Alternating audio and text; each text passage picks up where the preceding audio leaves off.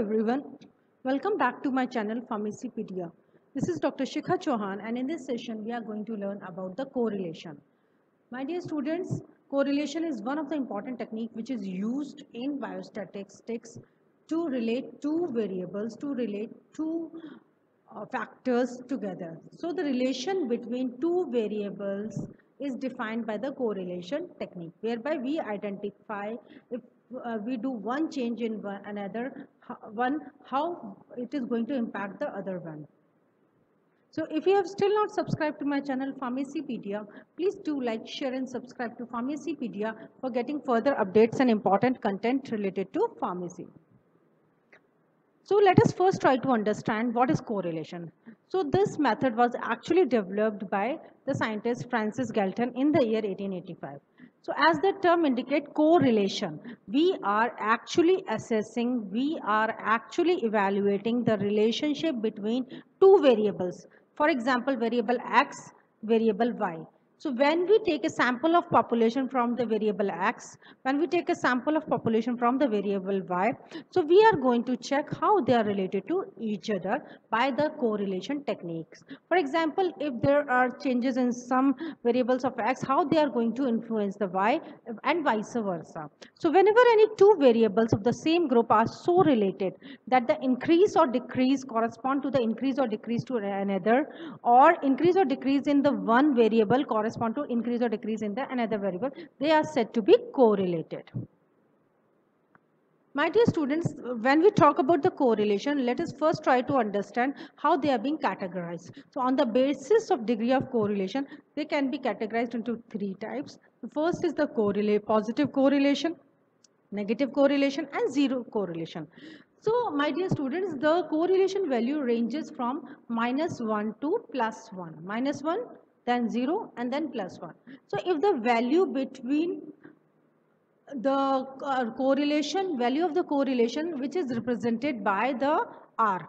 So if the value of the R lies in between 0 to 1, or everything in positive 0 to 1, it is said to be positive correlation.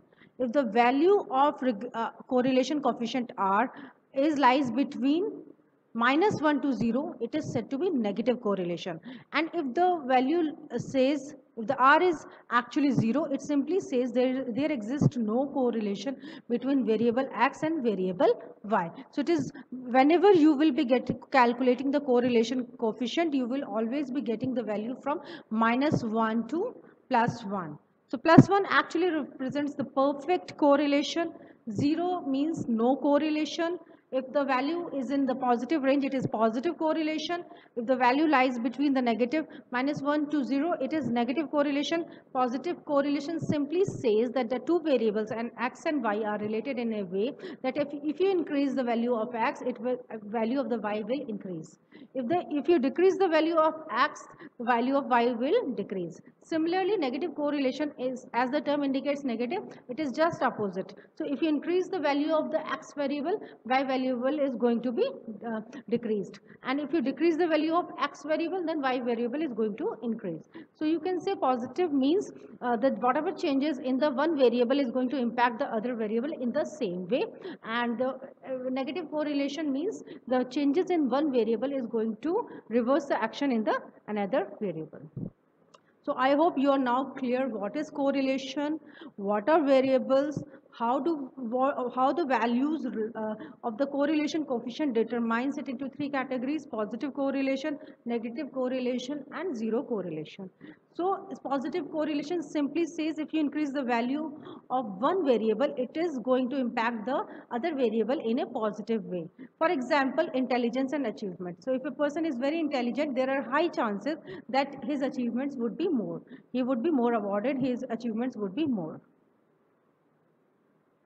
now let us try to understand the negative correlation. It simply says that if your regression coefficient lies in negative minus 1 to 0, it is said to be negative, negatively correlated and uh, the changes in one would reverse the changes in the another. So you can see positive correlation is marked by the upper arrow, positive arrow. Negative correlation is marked by negative coming down, coming down arrow and no correlation means stability. That simply means that the two variables are not at all related to each other. So the example for negative correlation is between the anxiety and the performance. So if your anxiety is more, your performance is going to be down. If your anxiety is less, your performance is going to be better. Now let us try to understand the zero correlation. Zero correlation as the term indicate and as the graph indicates zero means there exists no correlation between the variable x and variable y. So whatever changes you make to x, it is not at all going to impact the changes in y and vice versa. So there exists practically no relationship between two sets of the measures or variables. The classical example is like intelligence and height. No matter how much intelligent person, you cannot never correlate with the height of the person. Now coefficient of correlation. So coefficient of correlation is represented by R. So for a perfect positive correlation, the coefficient of correlation is 1 plus 1. For a perfect negative relation, it is minus 1. And positive coefficient of correlation varies from 0 to plus 1 and negative coefficient of correlation varies from 0 to minus 1 that I have told you. Then let us try to understand the different uses of correlation. Why do we need to correlate the things? Actually, it helps in biostatistics in several ways. To determine the validity of any test or if you want to calculate the reliability of any test or it, it is also used to ascertain the degree of the objectivity of the test and to ensure the validity of arguments for or against a statement. So whenever you have any hypothesis, you are for or against the statement that you can actually determine. It's very helpful in determining the nature of the relationship between two variables. Sometimes you need to understand the impact of one variable on another variable or vice versa. In that case, you need to go ahead for the correlation technique. It also helps us to predict out the impact of one value, value or the variable on the another variable.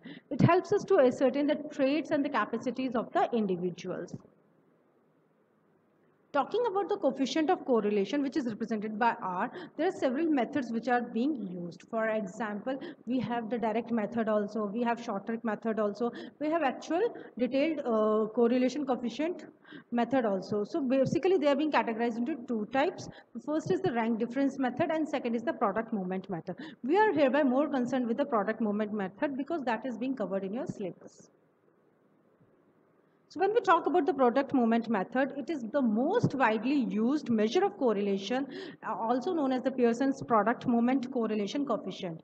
The method is also known as the Pearson's product movement correlation in, in honor of the scientist Karl Pearson, who is said to be the inventor of this method. So the coefficient of correlation is computed by the method known as the product moment coefficient of correlation or also known as the Pearson correlation coefficient method. Karl Pearson correlation coefficient and this is represented by the variable R.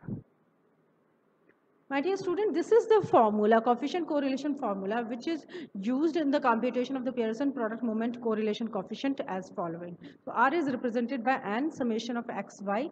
x and y are the sample sets. Then the uh, summation of minus the summation of x into summation of y and uh, divided by the square root equation. So we are going to learn with a sample of example how do we actually correlate the Karl Pearson coefficient of correlation in my next video. Thank you so much for watching my video. I'm sure it is going to help you out in understanding the basic concept of correlation and how do you actually imply with the value of the R. What do you understand from the value of the R? What are the different uses of the correlation and how do you interpret the correlation coefficient values? Thank you so much for watching the video. Please do like, share and subscribe to Pharmacypedia for getting further updates and important contents. In my upcoming video, I'm going to share you about the different methods of calculation of correlation coefficient. Till then, stay tuned, stay happy.